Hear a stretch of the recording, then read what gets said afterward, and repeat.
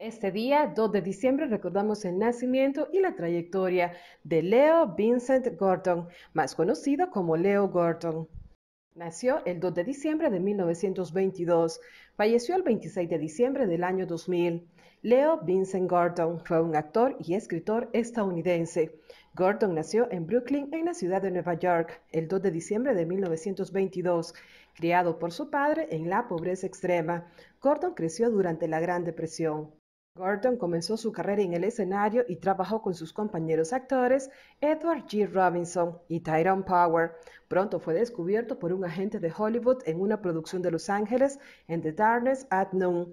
A lo largo de su carrera, Gordon aparecería en más de 170 producciones cinematográficas y televisivas, desde principios de la década de 1950 hasta mediados de la de 1990.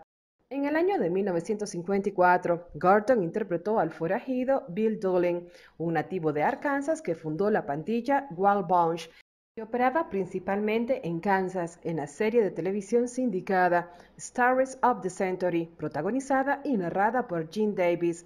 Gordon apareció en múltiples papeles en el drama criminal de la ABC de 1959 de Robert Stack, Los Intocables, Gordon también actuó como estrella invitada en la serie del oeste de la ABC y Warner Brothers de Alaskans junto a Roger Moore.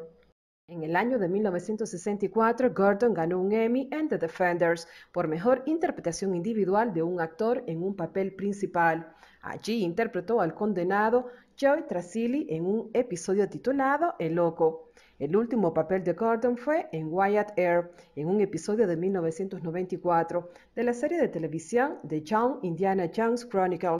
También apareció en la película Maverick ese mismo año con Mel Gibson, Jodie Foster y James Garner.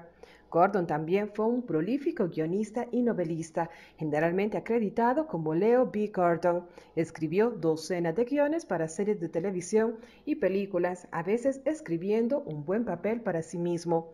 Después de luchar con una breve enfermedad, Gordon murió de insuficiencia cardíaca mientras dormía a la edad de 78 años en su casa en Los Ángeles, California, el 26 de diciembre del año 2000. Esto fue parte de la vida y la historia del actor y escritor estadounidense Leo Gordon, recordando ese día 2 de diciembre, la fecha de su nacimiento.